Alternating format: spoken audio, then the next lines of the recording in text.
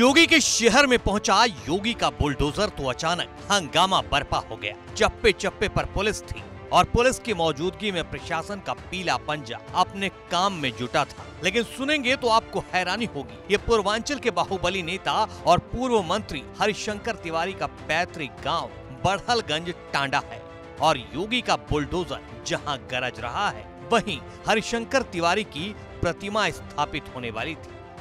दरअसल, हरिशंकर तिवारी चिल्लुपार विधानसभा से कई बार विधायक रहे। इसे विधानसभा में उनका पैतृक गाँव पड़ता है। यहाँ पर 31 जुलाई को तिवारी के समर्थक उनकी प्रतिमा लगवा रहे थे। प्रशासन को इसकी भनक लगते ही भारी पुलिस बल मौके पर पहुँच गई और मूर्ति स्थापित करने से रोक दिया। अधिकारियों का कहना था कि ग्रामीण बिना इजाज़त के ये काम कर रहे थे। ग्राम सभा टाणा तहसील, गोला, निवासी, राजा वशिष्ठ तिवारी द्वारा एक शिकायत किया गया था कि ग्राम सभा टाणा के प्रधान व अन्य ग्रामवासियों द्वारा ग्राम समाज की भूमि पर मूर्ति स्थापित करने के उद्देश्य से चबूतरे का निर्माण किया जा रहा है, जिसकी जाँच राजस्व टीम द्वारा कराई गई। राजस्व टीम द्वारा अवगत कराया गया कि ग्राम प्रधान द्वारा ग्राम टांडा स्थित नवीन परती की भूमि गाटा संख्या पाँच से पैंतालीस पर मूर्ति स्थापित किए जाने के उद्देश्य से चबूतरे का निर्माण अवैध रूप से कराया जा रहा है आज तहसील प्रशासन व पुलिस की संयुक्त कार्यवाही द्वारा ग्राम समाज की भूमि पर किए जा रहे अवैध रूप से चबूतरे के निर्माण को हटवा दिया गया है। गुरुवार को मामला गाँव से लखनऊ सदन तक पहुँच गया और खूब हंगामा हुआ। ब्राह्मण समाज की धूरी कहे जाने वाले हरिशंकर तिवारी के पुत्र विनय शंकर तिवारी ने प्रदेश के मुखिया पर एक जाति के पक्ष में जातिवाद की राजनीति करने और ब्राह्मण समाज के विरोध में की गई कार्रवाई बताया है। विवाद केवल अहंकार का है, जो प्रदेश के मुखिया हैं, उनका अहंकार है और कोई विवाद नहीं है, क्योंकि हरिशंकर तिवारी जी का जो जन्म स्थान है, टाणा ग्राम है। पैतृक स्थान है, उनकी जन्मभूमि है, कर्मभूमि है। तो आज उनके जाने के बाद, लगभग साल भर के बाद